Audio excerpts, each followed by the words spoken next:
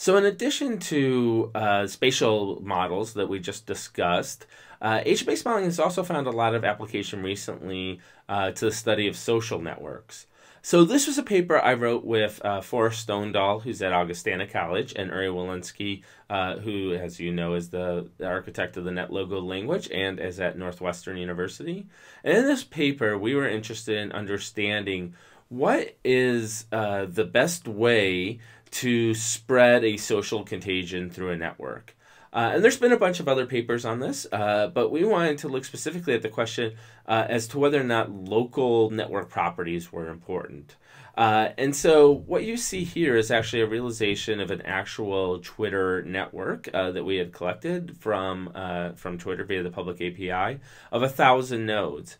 And what we found in that network was that by doing a bunch of simulations using agent-based modeling was that contagion spread spread quickest through that network when the people who were targeted with a message that you were trying to spread through the network had a, a lot of friends, but their friends didn't know each other. And so they were kind of these boundary spanning individuals who could spread the message through the entire network. Forrest also built a nice little 3D visualization of this that I'll play now. So what you're seeing is the spread of this purple hat idea, we called it, throughout the entire Twitter network uh, that we had collected, which was a thousand nodes. And as you can see, even in the small sample of Twitter, there are definite clusters of individuals. And the, the idea spreads quickest if it's able to find the centers of all those clusters and then spread out throughout all of them. Uh, and it doesn't work if it's constrained uh, to only one cluster. So in another paper I was involved with using agent-based modeling, we used ABM to try and infer a social network uh, that we didn't know the properties of. So here's the basic idea. We took some Facebook data about app adoption, so we know how quickly on each day uh, apps get installed, right? And then we tried to simulate what a bunch of different uh, Facebook networks would look like that uh, given uh, that would have those kind of app adoptions, right? In other words, we were trying to figure out if we manipulate the topology of the underlying network, how does that affect the uh, adoption pattern uh, that we see? And then we tried to see using a, a Bayesian uh, method which network was most likely to have generated uh, the adoption patterns that we saw on the Facebook apps, right?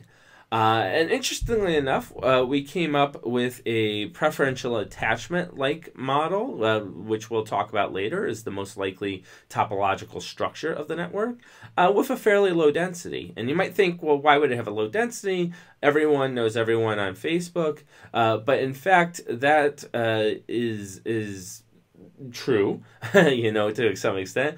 But the people that you trust to uh, to recommend apps to you is probably a much smaller number, and so that network probably has a much lower density than the overall Facebook network.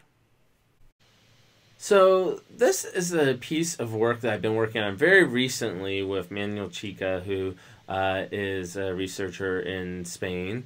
Uh, and we've been working on trying to understand how to use agent-based modeling to help managers actually make decisions about word-of-mouth programs that they're building. Uh, and we call this a you know a decision support system, which is a term that's often used in the literature when you're directly helping to try and make a decision. Uh, so what we did was we used some of the previous research we had done on agent-based modeling and viral marketing and word-of-mouth programs, and we got some data from a massively multiplayer online game, and we looked to see how adoption of premium content by one user seemed to spread through the network.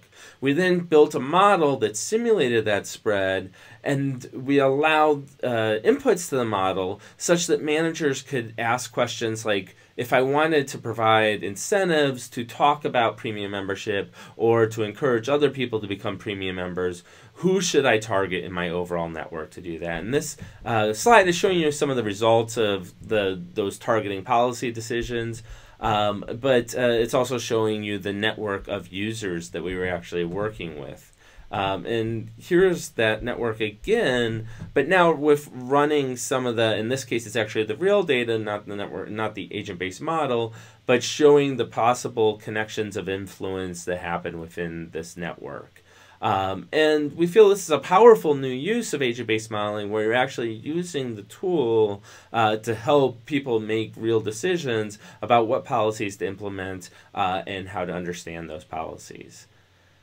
Now, I've spent some time over the last couple of uh, talks discussing applications uh, of agent-based modeling in very complex settings to both spatial models and to network-based models. Now, these aren't the only places uh, where agent-based modeling has some more uh, complex and interesting insights to provide you with, uh, but there are two areas that I know about quite well and that I've spent some time in, and so that's why I shared these two areas with you. I highly recommend that you look at um, a lot of the research that's being done, and I'll try and use the Twitter feed also to post some of those papers out there. Uh, and that will give you some more insight into complex applications of agent-based modeling. Uh, you can also check out some of the websites out there where people post their models, like openabm.org uh, and uh, the NetLogo Modelings Commons, and that will provide you with additional insight into how complex these models can get. So, thanks.